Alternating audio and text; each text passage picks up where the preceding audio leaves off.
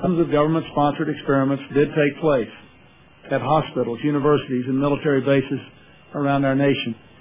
Some were unethical, not only by today's standards, but by the standards of the time in which they were conducted. They failed both the test of our nation and the test of humanity. The United States of America offers a sincere apology to victims and to their communities when they